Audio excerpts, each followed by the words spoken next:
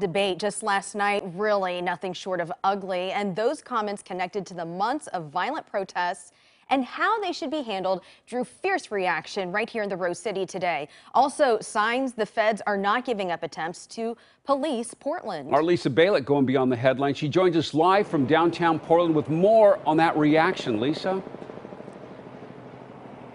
Well, the president last night said that he could get Portland under control in 30 minutes if local leaders would let him. But what's got a lot of people around here really upset right now is his refusal to condemn white supremacy.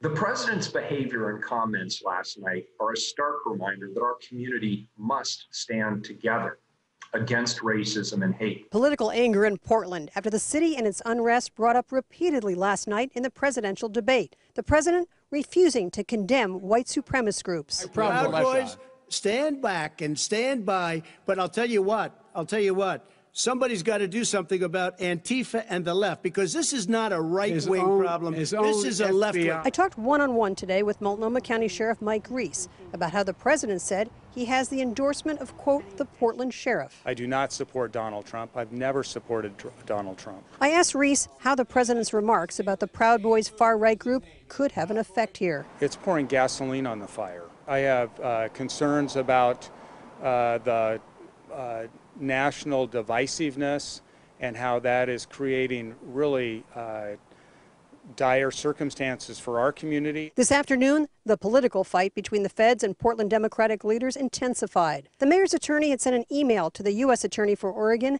saying the city does not consent to the continuing federal deputization of its police officers and withdraws that consent. Those powers allowed the officers to make arrests on federal charges and use tear gas. But the U.S. Attorney and the U.S. Marshal sent back a response saying the 56 police officers and 22 sheriff's deputies will remain deputized, quote, due to a lack of leadership in the city.